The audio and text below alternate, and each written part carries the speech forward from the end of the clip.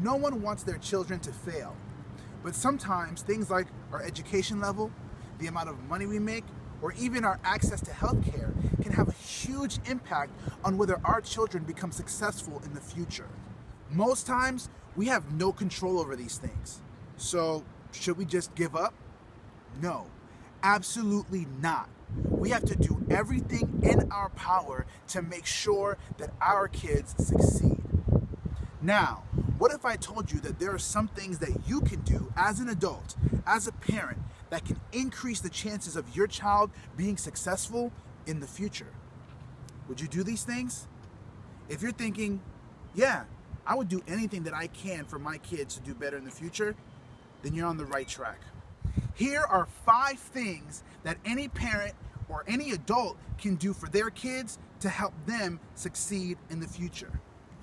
Number one, love on your kids. Care for your kids in a sensitive way. Tell them and show them just how much you love them every single day. A study of 243 people born into poverty suggested that a healthy parent child relationship in the first few years of life can help improve that child's chances of doing well in school and in society all the way up into adulthood. What is sensitive caretaking? It basically means responding to your child's needs as soon as you can and always trying to deal with your kids in a positive way. Number two, read to your kids every single day.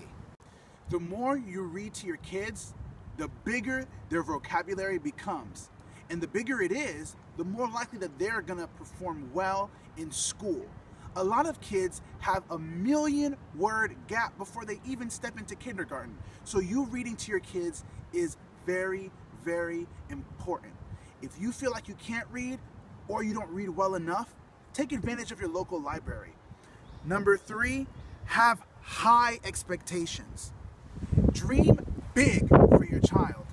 If they can make A's and B's, don't settle for C's and D's. Don't only expect them to graduate from high school. Expect that they go to college and graduate from college. Parents who see college in their children's future are more likely to do everything they can to guide their child toward that goal, no matter what their job status is and no matter what their income level is. Number four, teach your kids social skills. What are social skills?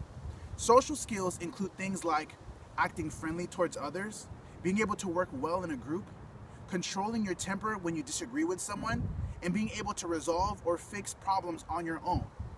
Now, research states that kids in kindergarten who have good social skills are more likely to graduate high school on time, graduate from college, and have a stable job by the age of 25.